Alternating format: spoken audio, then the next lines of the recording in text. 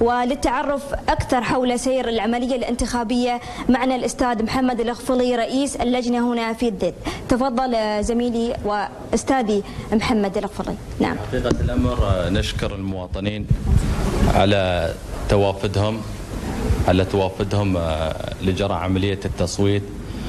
وعندنا المواطن من يجي ناخب على أساس يصوت يمر بعدة مراحل. أول مرحلة يمر مرحلة المراقبه الدخول ومن بعدها يتم تدريبه على عملية التصويت. وبعد التدريب يدققون انه من ضمن القوائم الانتخابية ام لا وتتم عملية تدقيق.